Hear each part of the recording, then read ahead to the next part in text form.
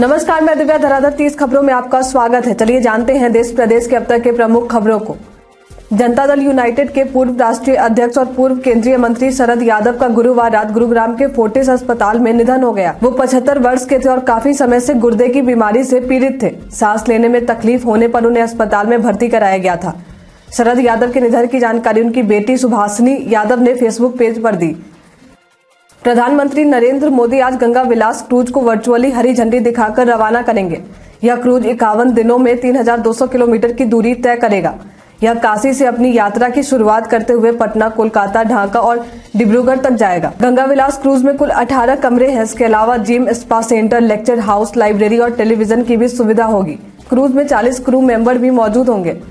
हिंदुओं के धार्मिक ग्रंथ रामचरित मानस पर विवादित टिप्पणी करने वाले शिक्षा मंत्री चंद्रशेखर के खिलाफ बेगूसराय कोर्ट में परिवाद दायर हो गया है। उन्होंने रामचरित मानस को नफरत फैलाने वाला ग्रंथ कहकर इसकी आलोचना की थी।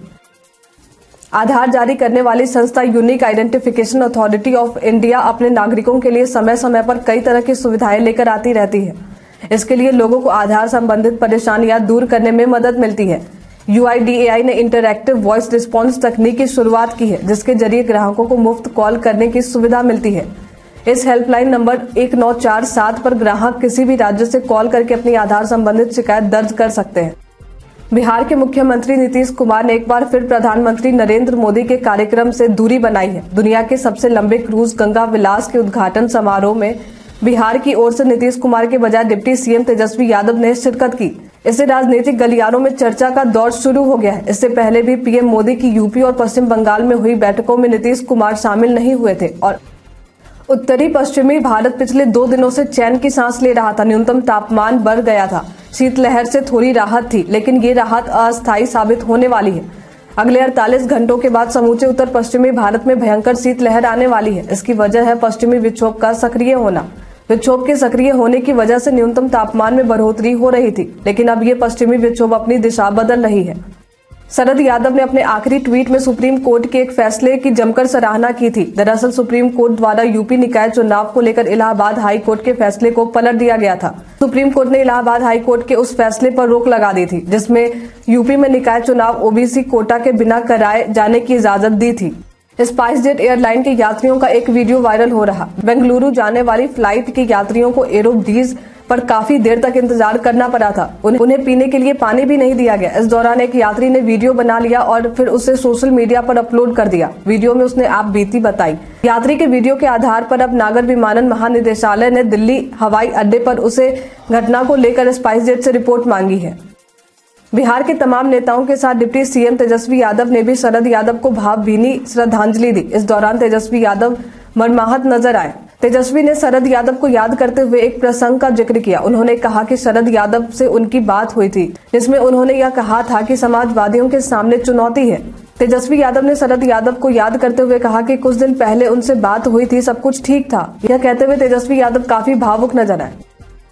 केंद्र और राज्य सरकारें अगले वित्त वर्ष में बाज़ार से कुल दो दशमलव तीन लाख करोड़ रुपए अधिक का कर्ज लेने का प्रावधान कर सकती है। हालाँकि केंद्रीय बजट में राजकोषीय घाटा अनुमान से कम होकर सकल घरेलू उत्पाद का पाँच दशमलव आठ प्रतिशत रह सकता है। एक, एक रिपोर्ट में यह कहा गया है। इकरा रेटिंग्स ने अनुमान जताया कि पुराने कर्ज को अधिक मात्रा में चुकता करने से केंद्र सरकार और राज्य सरकारों की सकल बाज़ार उधारी भी बढ़ेगी।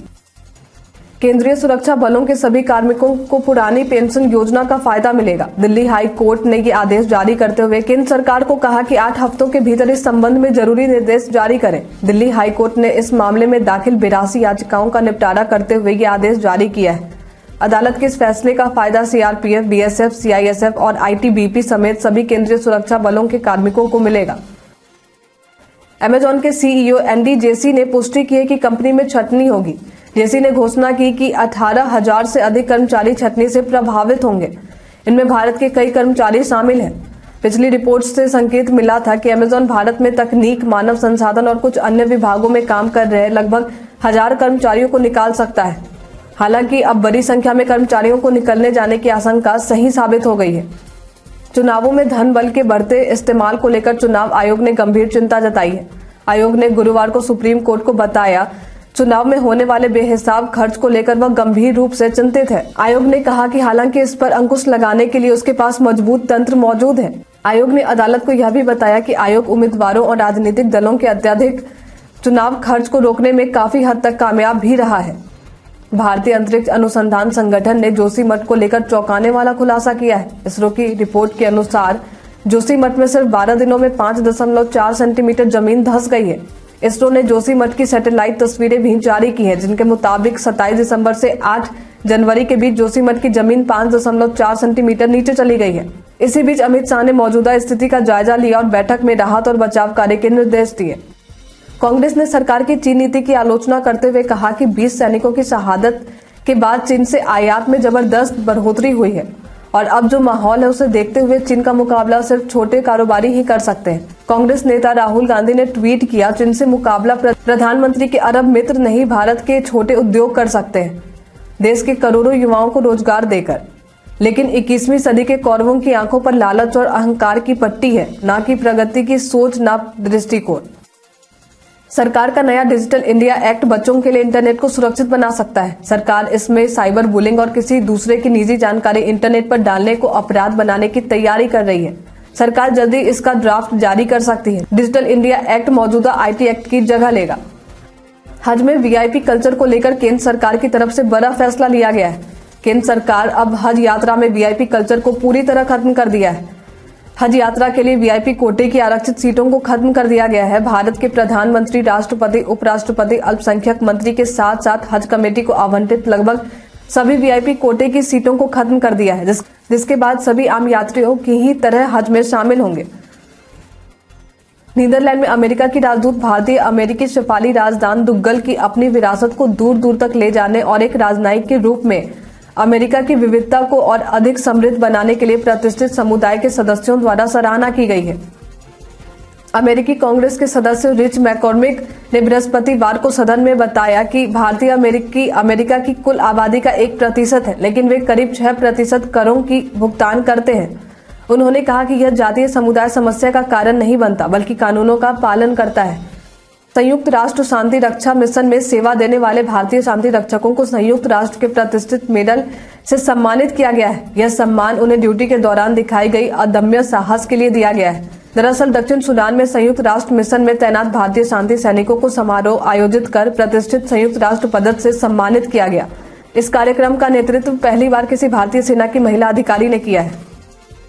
सऊदी अरब की सरकार ने देश में नागरिकता को लेकर बड़ा बदलाव किया है। नए नियमों के तहत अब प्रवासी पुरुषों से शादी करने वाली सऊदी महिलाओं के बच्चे अब 18 साल की उम्र के बाद नागरिकता के लिए आवेदन कर सकते हैं। शाही फरमान के बाद नागरिकता अधिनियम के अनुच्छेद आठ में संशोधन किया गया है। ऐसे में सऊदी में नागरिकता के नियमों में बदलाव का असर लाखों भारतीयों पर पड़ने वाला है। कई भारतीय तो सऊदी में पूरी तरह से बस गए हैं। इनमें इनमें अधिकतर संख्या उन लोगों की है जो वहाँ पर मजदूरी या कंपनियों में काम कर रहे हैं। पाकिस्तान के इलेक्ट्रॉनिक मीडिया निगरानी संस्था ने गुरुवार को देश में टीवी चैनलों पर भारतीय कंटेंट दिखाने के मामले में केबल ऑपरेटरों के खिलाफ बड़ी कार्रवाई की है। संस्था ने कहा है कि पाकिस्तानी इलेक्ट्रॉनिक मीडिया नियामक प्राधिकरण के कर्मचारियों ने चार केबल ऑपरेटरों पर भारतीय चैनलों के साथ साथ भारतीय कंटेंट प्रसारित करने के लिए छापेमारी की। कराची स्थित messrs Shahjahan cable network messrs Karachi cable services, messrs new satellite, communication और messrs star digital cable network शामिल है। केंद्र और राज्य सरकारें लगातार किसानों को इन आधुनिक ढांचों में खेती करने के लिए आर्थिक और तकनीकी सहयोग प्रदान कर रहे हैं, जिससे सफल उत्पादन में कोई भी दिक्कत न आए। सरकार के अलावा कई स्टार्टअप भी आज poly house, green house, low tunnel जैसी सुविधाएँ किसान को प्रदान कर रहे हैं। एग्री स्टार्टअप खेती को विश्व प्रसिद्ध अर्थ शॉर्ट अवार्ड दिया गया है। जिसे इको ऑस्कर अवार्ड भी कहते हैं। आपको बता दें कि एग्रीकल्चर स्टार्टअप खेती सिर्फ़ पाँच एकड़ या उससे कम ज़मीन वाले किसानों को ही ग्रीन हाउस तकनीक मुहैया करवाता है।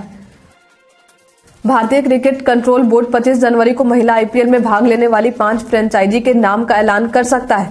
इन फ्रेंचाइजी की बोली सील बंद लिफाफे में जमा की गई है। हालाँकि बोर्ड से निविदा दस्तावेजों में स्पष्ट किया गया था कि वह सबसे ज़्यादा कीमत वाली बोली को स्वीकार करने के लिए बाध्य नहीं है। बीसीसीआई ने पिछले सप्ताह महिला आईपीएल में शामिल होने वाली पाँच फ्रेंचाइजी की स्वामित्व और संचालन के लिए बोली आमंत्रित करते हुए निविदा जारी निविदा जारी की थी। भारतीय क्रिकेट टीम ने साल 2023 की शुरुआत धमाकेदार अंदाज में की है। टीम इंडिया ने नए साल में श्रीलंका से टी सीरीज़ जीतने के बाद वनडे सीरीज़ पर भी कब्जा कर लिया है। भारत की श्रीलंका के खिलाफ अपने घर में यह लगातार दसवीं वनडे सीरीज़ जीत है। यानी टीम इंडिया लंका से कभी भी अपने घर में वनडे सीरीज़ नहीं हारी है। देश में आज भी कई व्यापारी और चावल कंपनियाँ विपरीत मानकों में नकली बासमती चावल बेचकर अपनी अपनी जेबें भर रही हैं। ऐसी गैर कानून गतिविधियों पर अब भारतीय खाद्य संरक्षा और मानक प्राधिकरण यानी एफ़ ने लगाम कस दी है। बता दें कि एफ़ ने बासमती चावल की क्वालिटी और स्टैंडर्ड के लिए खास नियम तय कर दिए हैं, जिनका पालन चावल कंपनियों को करना ही होगा। ये नियम 1 अगस्त 2023 से देश भर में लागू हो जाएँगे। मुख्य न्यायाधीश डीवाई चंद्रचूड़ ने केंद्र सरकार को फटकार लगाते हुए कहा कि अगर दिल्ली में प्रशासन केंद्र के इशारों पर ही चलाया जाना है तो चुनी हुई सरकार होने का क्या मतलब है? सीजीआई ने दिल्ली सरकार और केंद्र के बीच एक विवाद की सुनवाई के दौरान ये टिप्पणी की, जिसकी अध्यक्षता वो खुद कर रहे थे। प्रधानमंत्री नरेंद्र मोदी आज नीति आयोग में अर्थशास्त्रियों के साथ की इस बैठक के दौरान वित्त मंत्री निर्मला सीतारमन भी मौजूद रही। पीएम ने केंद्रीय बजट से पहले अर्थशास्त्रियों से राय और सुझाव लेने के साथ साथ भारतीय अर्थव्यवस्था की स्थिति और इसकी चुनौतियों का आकलन किया। पाकिस्तान में आर्थिक संकट के बीच पड़ोसी मुल्क के लिए एक और बुरी खबर है। पाकिस्तान के करीबी कहे जाने वाले मुरक्को ने भारत के साथ राजनयिक संबंधों के साथ साथ रक्षा सौदों को बढ़ावा देने का फैसला किया है। उत्तरी उत्तरी अफ्रीका देश मुरक्को की शाही सशस्त्र सेना अब मेड इन इंडिया ट्रकों का इस्तेमाल करेगी। मुरक्को ने भारत की कंपनी टाटा द्वारा निर्मित बिरानवे छह पहियों वाले सैन्य ट्रकों को खरीदने का फैसला किया है। हमारे द्वारा पूछे गए सवाल का आप लोगों में से बहुत लोगों ने अपना जवाब हमें हमारे कमेंट सेक्शन बॉक्स में लिखकर दिया था। जिन्होंने हमें हमारे द्वारा पूछे गए सवाल का जवाब दिया है, उनके नाम है सर्वजीत कुमार, शशि पटेल, सुनीला प्रीतम कुमार, राजकिशोर कुमार, नुन्नू गोलू कुमार, असरफी मंडल कुशलेंद्र कुमार सिन्हा रविशंकर अभिनेश कुमार एमडी साकिर हुसैन, भावेश चौधरी, अनवर करीम खान और विजय सिंह। अब बढ़ते हैं आज के सवाल की ओर। उससे पहले दिवंगत नेता शरद यादव को भावपूर्ण श्रद्धांजलि। तो आज का सवाल है आपकी नज़र में शरद यादव की नेता के रूप में कैसी छवि थी? आप अपना जवाब हमें हमारे कमेंट सेक्शन में लिखकर ज़रूर बताएँ। आज के लिए इतना ही, धन्यवाद।